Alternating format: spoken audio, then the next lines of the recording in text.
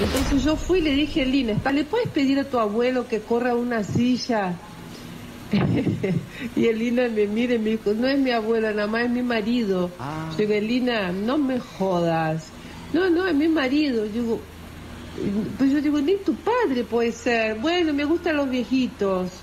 Después, Elina hizo un plan maestro, chicos. Yo la felicito. No va a poder tener hijos, porque la brasilera que estuvo casada con él lo hizo hacer en la vasectomía, una cosa así. La información de que a todos los diseñadores les llegó la orden de que no inviten ni a Nama ni a su hija. Ah, no, no, eso no tenemos nada que ver. Aparte yo no me ocupo de eso. Le voy a hacer una denuncia por acoso. Me acosaron, me sacaron, me empujaron. La policía de Elina. ¿Vos aceptarías que entre Anamá al desfile?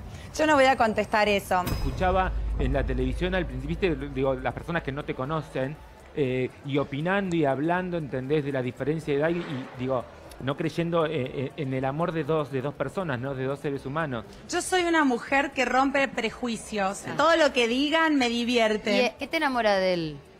Él es todo. Yo esperaba Se los ve años, divino. años el amor de mi vida y llegó y él es una persona increíble, amoroso. Yo siempre voy a hablar de nuestra fa- familia primaria que es Eduardo y yo Sí. y de todo lo que se puede llegar a, a- a sumar, ¿no? A esta familia y después, bueno, está mi familia, está la familia de él, pero la prioridad es nuestra familia primaria. ¿Y la familia Eduardo primaria quiere agrandarse, Eli? Se quiere agrandar, ¿no?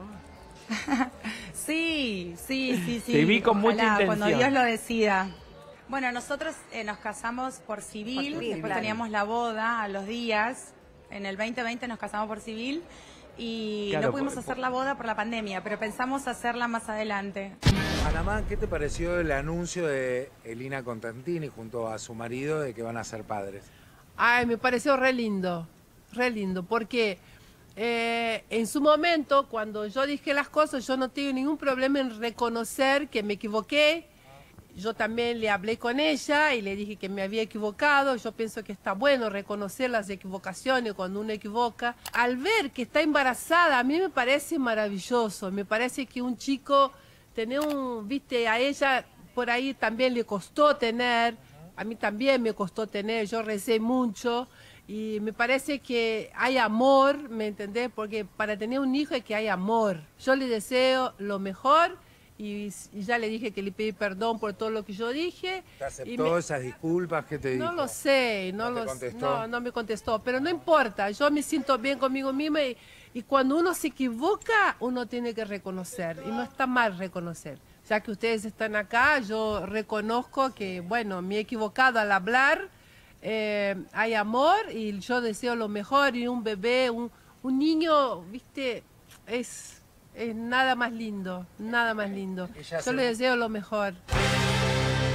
Estás en el 7.